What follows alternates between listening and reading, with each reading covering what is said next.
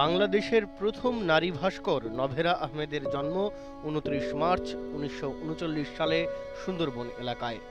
লন্ডনের city and গেলস্টোন carving ক্লাসে ও পরে Camberwell school of arts and ক্রাফটসে শিক্ষা নেন নভেরা।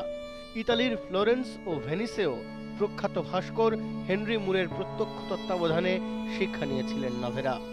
শুধু ভাস্কর্যের জন্য স্মরণীয় হয়ে থাকবেন না, তিনি স্মরণীয় হয়ে থাকবেন তার আধুনিক মনস্কতার জন্য।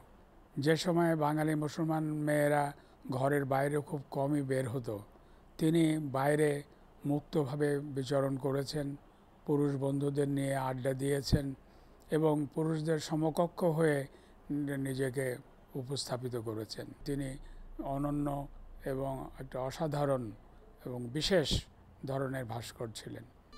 নভেরা দেশে ফেরেন উনিশশো সালে। সে সময় ঢাকায় কেন্দ্রীয় শহীদ মিনার নির্মাণের উদ্যোগ চলছিল।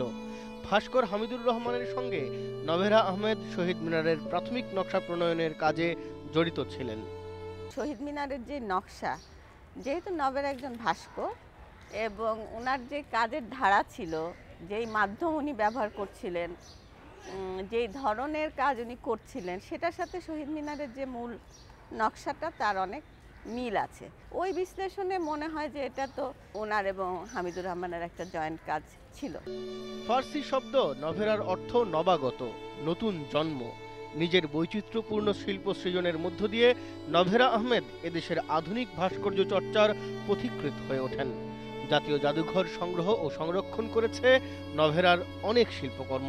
নভেরা আহমেদ উনিশশো সাতানব্বই সালে পেয়েছেন একুশে পদক। Shimul Salahuddin Independent News Dhaka